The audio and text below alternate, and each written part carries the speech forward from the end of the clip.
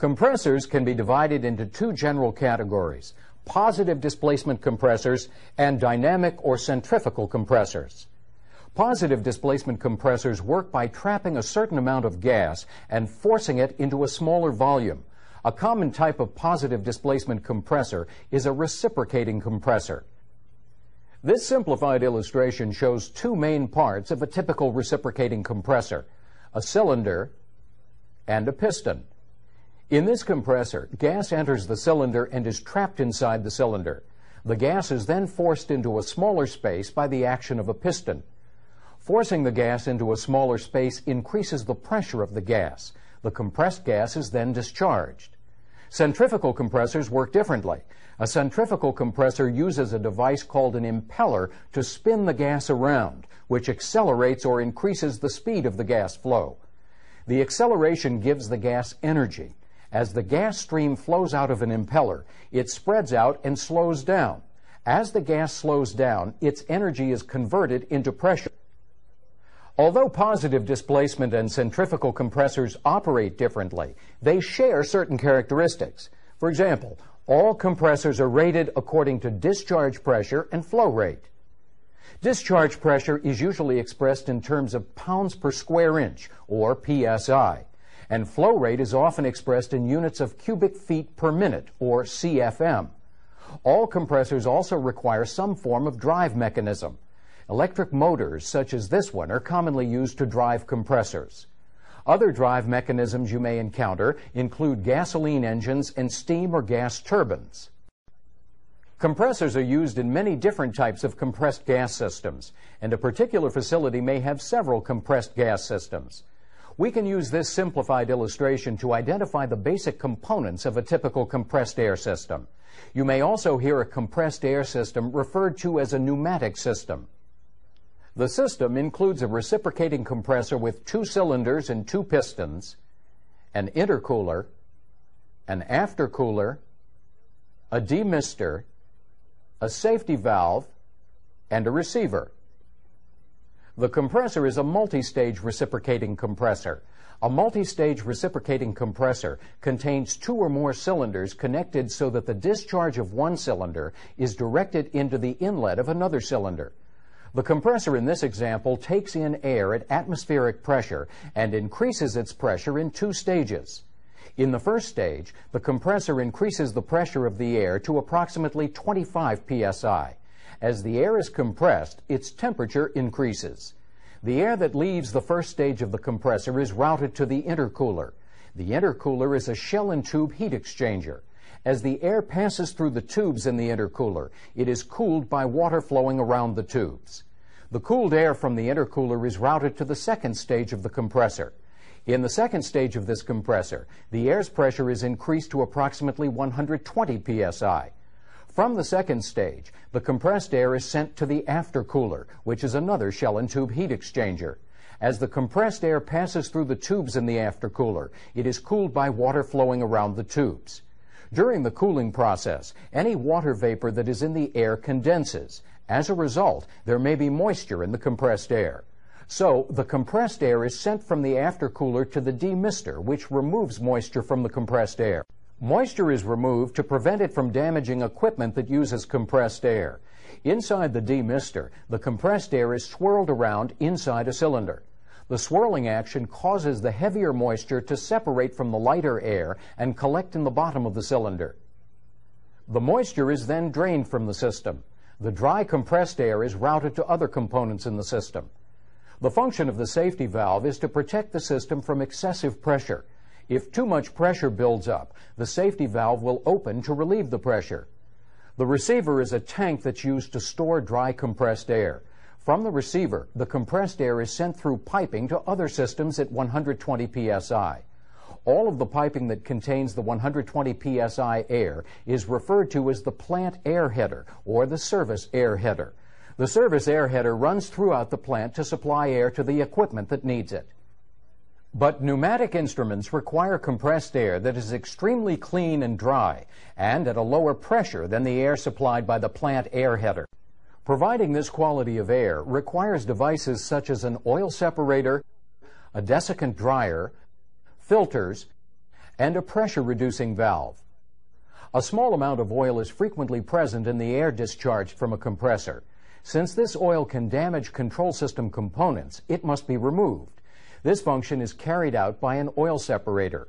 The oil that is removed collects in the bottom of the separator and is often drained to a waste system. A desiccant dryer removes moisture that may be present in the air. Filters remove any solid impurities that may be present. Dry filtered air that is suitable for use in a control system is typically stored in a receiver until it is needed. Then it is sent to a pressure reducing valve. The valve's function is to reduce the 120 psi air to 50 psi for use in pneumatic instruments and devices throughout the plant. The compressed air coming out of the pressure reducing valve is distributed by an instrument air header. The instrument air header supplies 50 psi air for use in pneumatic control systems. This pressure can be further reduced by the devices that get compressed air from this header. Compressors can be hazardous for several reasons. One is that they have moving parts. To help prevent your clothing from being caught, make sure your shirt is tucked in. And don't wear any jewelry that could get caught in moving parts. Compressors can also be hazardous because heat is generated when gas is compressed. The outside surfaces of a compressor can get very hot, so be careful not to come in contact with the hot surfaces. To lessen the risk of getting burned, it's a good idea to wear long sleeve shirts made of cotton or other natural fibers. The sleeves should be rolled down and cuffs buttoned whenever you're working around operating compressors. Compressors are also extremely noisy. Personnel who do not wear appropriate hearing protection may risk a permanent hearing loss. There are also hazards associated with compressed gas systems. For example, leaks in a compressed gas system can blow dirt or dust around the work area at high speeds. For this reason, eye protection, such as safety goggles or glasses, should be worn by personnel working around these systems. Pneumatic tools and rubber hoses that are used with compressed air systems must be kept in good condition and inspected before each use. If the equipment is not in good condition, an accident could happen. If a 120 psi air hose parts, it could whip about and strike someone nearby, causing a serious injury. Some compressed gases, such as hydrogen, may be flammable or explosive. So open flames in spark-producing equipment should never be used around these systems. Some compressed gas systems may contain gases that are toxic, and some may contain gases that displace air. In either case, these systems may make surrounding areas unsafe to breathe in if a leak occurs. Plant procedures may require the use of a respirator by anyone working around such systems. Harmful gases present in compressed gas systems are usually identified by warning signs, which alert personnel that a hazardous gas is used in the area. In many facilities, it may be necessary to have certain areas tested for toxic gases before anyone is allowed to work there. In this topic, we identified two types of compressors. We also looked at the components of a typical compressed air system. In addition, we looked at various hazards associated with compressors and compressed gas systems. Now try some practice questions that relate to this material. Positive displacement compressors work by trapping a certain amount of gas and forcing it into a smaller volume.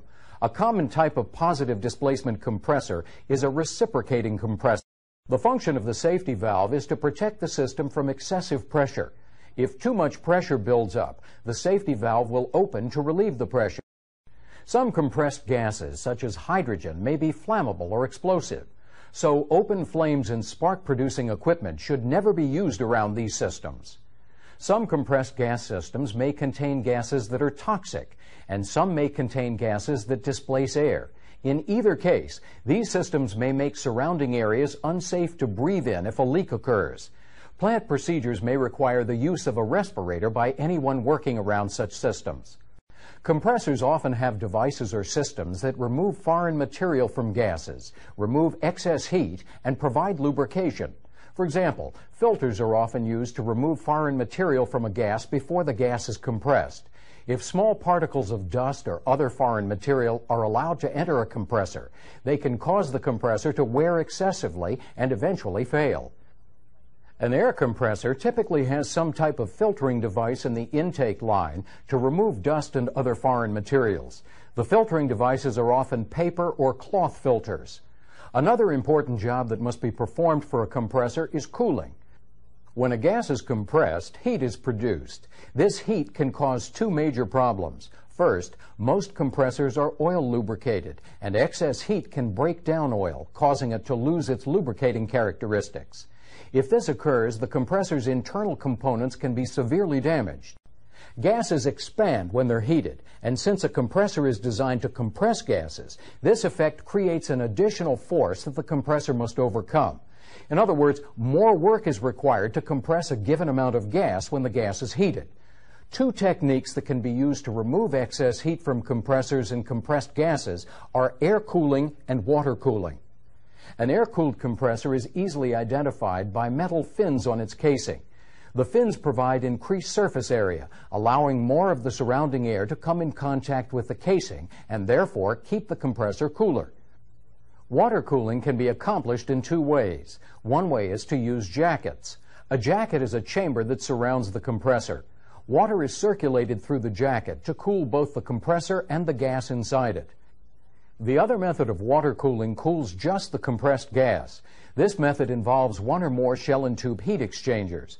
Depending on their location, these heat exchangers are classified as either intercoolers or aftercoolers. The main difference between intercoolers and aftercoolers is where they're located in the flow path of the compressed gas. Intercoolers are generally used with multi-stage compressors and are located between the stages. Cooling the gas between stages in a multi-stage compressor is one way that excess heat can be removed. Because oil is heavier than gas, it is more difficult for the oil to make the changes in direction. As a result, the oil droplets separate from the gas, collect on the baffles, and then drip down into the sump. In this way, most of the oil is removed from the gas. After the gas passes the last baffle, it flows through the wire mesh screen. Most of the small amount of remaining oil is trapped by the screen and then into the sump. The relatively oil-free gas continues on through the outlet. The next auxiliary device we'll look at is a demister. Air and other gases generally contain some moisture vapor. When gases are compressed and then cooled, the vapor often condenses into liquid droplets that can damage some type of automatic equipment. To prevent this from happening, moisture separators or demisters are often used to remove the droplets. This illustration of a demister includes a shell, a gas inlet line, a liquid outlet line, and a gas collector, which is connected to a gas outlet line. As moist gas enters the demister, it begins spinning. Because liquids are heavier than gases, centrifugal force causes liquid to separate from the gas and hit the shell. The liquid runs down the shell and out through the liquid outlet. The gas enters the collector and leaves through the gas outlet. Another auxiliary device that may be used along with a demister when extremely dry gas is required is a desiccant dryer. Another way to remove excess heat is to cool the gas after the compression process is complete. The device that does this is called an aftercooler. Another important compressor system is its lubrication system. The main function of a compressor's lubrication system is to reduce friction between the compressor's moving parts. Lubrication also helps to cool the compressor's parts and to keep gas from leaking out of the compressor. The main parts of this lubrication system are an oil pump, a filter, a heat exchanger, and an oil injector, which is commonly called an oiler. Oil from the compressor flows into the pump. The oil is then pumped through the filter, which removes any solid particles from the oil. Next, the oil flows through the heat exchanger where it is cooled.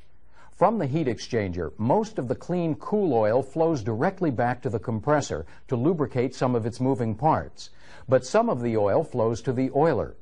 The oiler supplies a small amount of oil to the compressor cylinder. In the cylinder, piston rings are used to maintain a seal between the piston and the cylinder. The oil lubricates the piston rings and helps seal the space between the cylinder wall and the rings. Compressed gas systems use auxiliary devices to remove oil or moisture from compressed gas and to prevent overpressurization. Two devices that are used to remove liquids from compressed gas are oil separators and demisters. Most reciprocating compressors that contain pistons use oil to lubricate the piston rings. During compression, some of the oil can become mixed in with the gas. This oil must be removed from the gas to prevent system equipment from being damaged. Oil removal is accomplished using oil separators.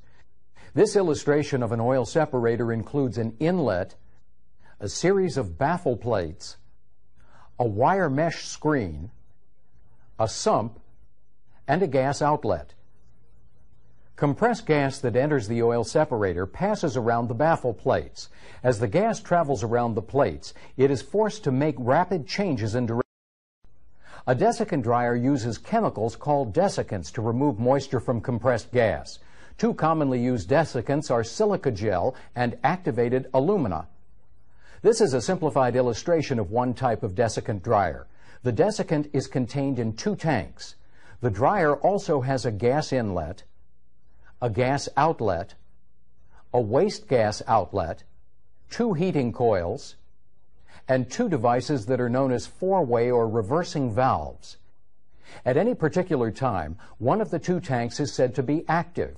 An active tank contains dry desiccant that is used to remove moisture from compressed gas.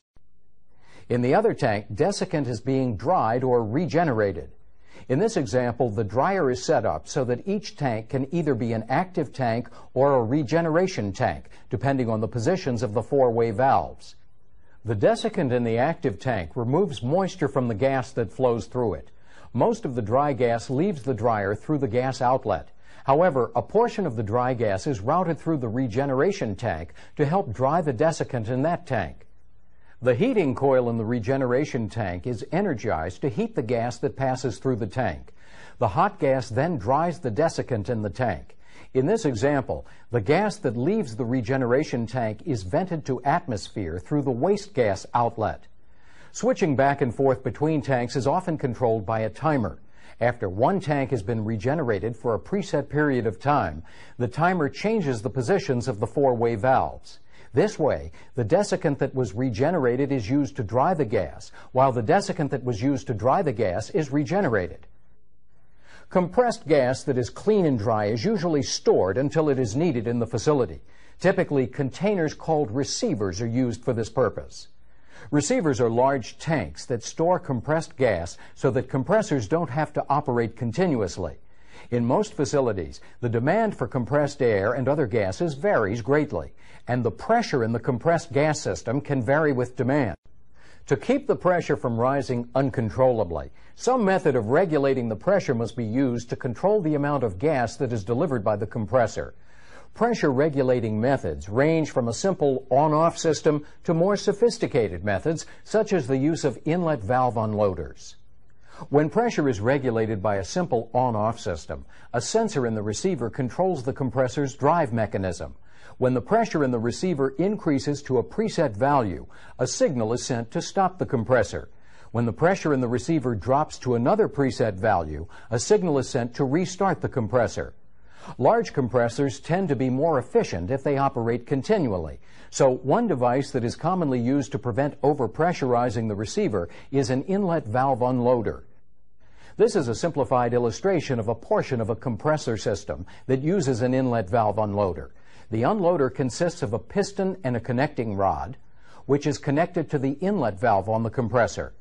A pressure sensing line is connected from the unloader to the receiver. Gas from the receiver fills the pressure sensing line.